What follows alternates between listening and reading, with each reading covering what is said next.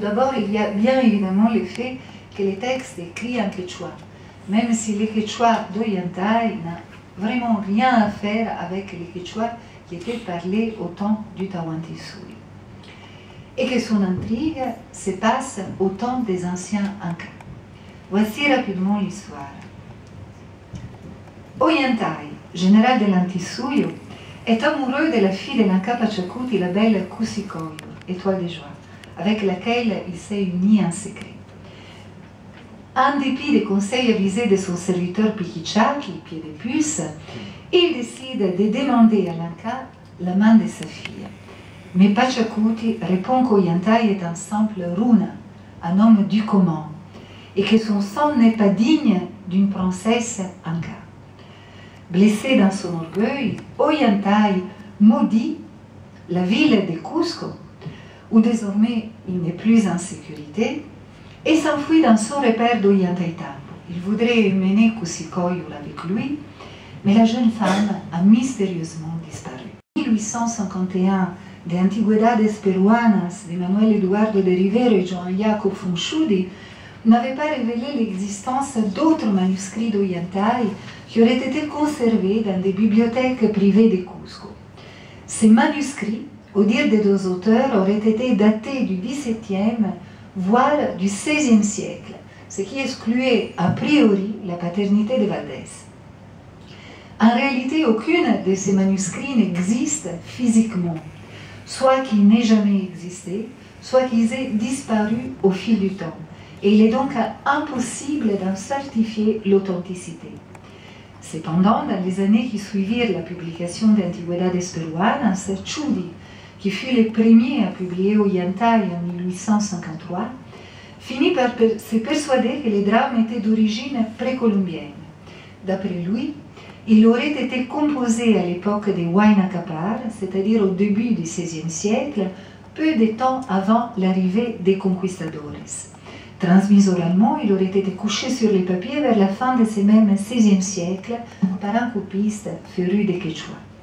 L'autorité de référence est encore une fois Garcilaso de la Vega, qui dans ses Comentarios Reales affirme que les Incas représentaient des, des, tragédies et des comédies à la manière des Grecs et des Romains, alors que les Incas n'ont jamais produit rien de comparable aux tragédies et aux comédies du théâtre classique.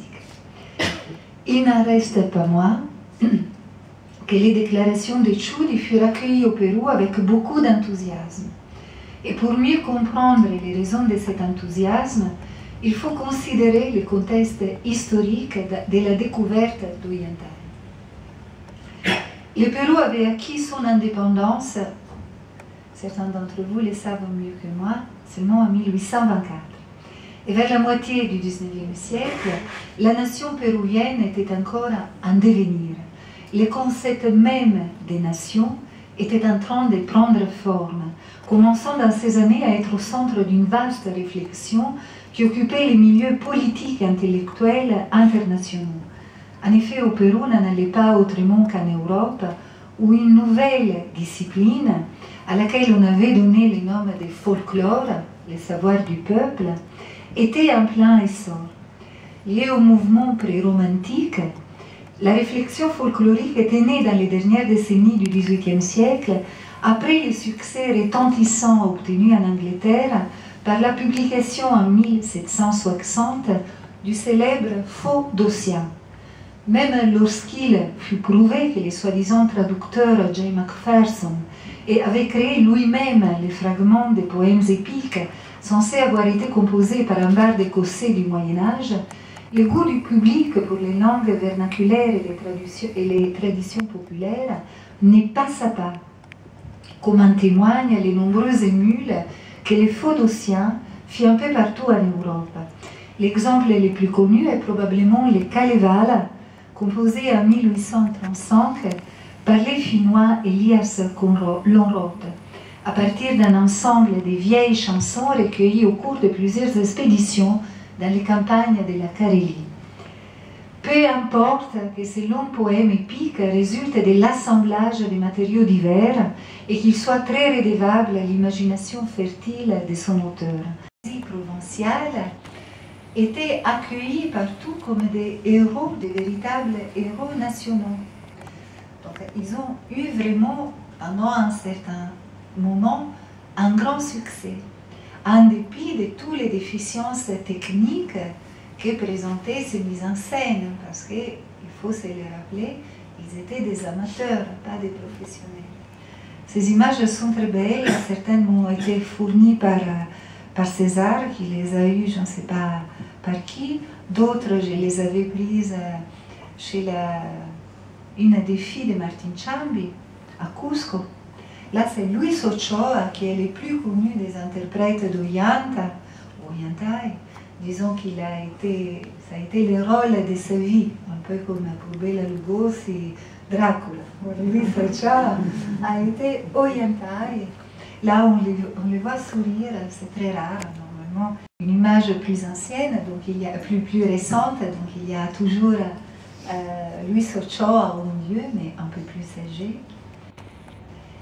Et alors, les décors d'Oriental ont été aussi euh, faits par des peintres. Là, ce sont des tableaux de Francisco González Gamarra. Il y a des tableaux et des gravures. Donc, pendant un certain temps, Oriental était vraiment euh, une pièce très importante qui a été aussi à l'origine, euh, et là je vais revenir en arrière, comme ça je vous permettre de revoir ces, ces photographies que personnellement je trouve très très belles elle a été, euh, à l'origine, elle a été le modèle littéraire du renouveau du théâtre quechua.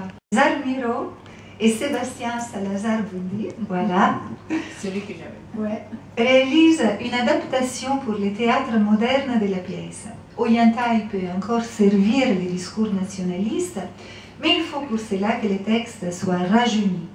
Et si Oyantai ne déchaîne plus autant de passions qu'il le faisait dans la deuxième moitié du XIXe siècle, il continue à représenter le génie péruvien aux yeux des auteurs qui les perçoivent comme les produits du métissage entre la culture autochtone et la culture espagnole. D'après eux, Ollantay reflèterait la société mouvante et contradictoire du Pérou colonial. A été composé. Nous sommes arrivés jusqu'aux années 70 en passant par celle qu'on appelle l'âge des nationalismes et par l'indigénisme. La question qui reste à se poser est bien évidemment qu'en est-il aujourd'hui du drame quechua d'Antonio Valdés? En dépit du fait qu'il ne jouit plus de la fortune qu'il a connue autrefois, Ollantay reste un classique que l'on étudie à l'école.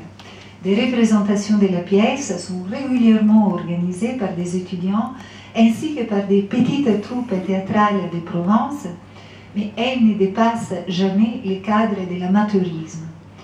Cependant, lorsqu'on visite les sites archéologiques d'Ollantaytambo, il est presque inévitable de rencontrer un guide touristique qui raconte l'histoire du valeureux guerrier qui par amour avait défié la puissance des Cusco. Et si l'on veut se procurer un exemplaire de la pièce, euh, le choix est très vaste. On trouve des éditions savantes de la pièce dans les librairies de Lima, mais on trouve également des éditions populaires dans les magasins de souvenirs de Cusco, comme sur les marchés proches de Machu Picchu, au milieu des ponchos et des yiclas en laine d'alpaga. Au Pérou et en Bolivie, l'attachement Ollantay est tel qu'encore aujourd'hui, la tentation est forte de les considérer comme un drame d'origine inca. Et si l'on interroge les gens dans la rue, la réponse est toujours la même, Ollantay et Sincaïco.